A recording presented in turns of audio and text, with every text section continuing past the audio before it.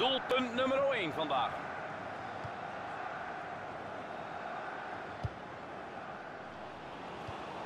Klaassen. En Ajax is weg.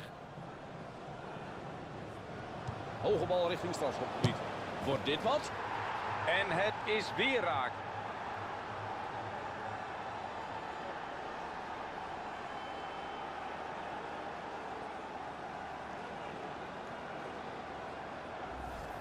Ze scoren twee keer achter elkaar alsof het niets is.